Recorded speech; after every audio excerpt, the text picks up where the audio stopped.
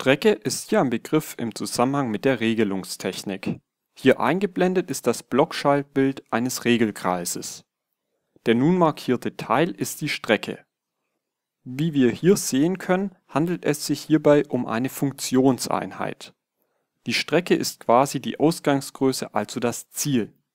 Beispiele für die Strecke wären die Raumtemperatur oder die Geschwindigkeit eines Autos. Ich bin Enrique Fernandes, hier bei FMH Studios. Bis zum nächsten Video. Adios.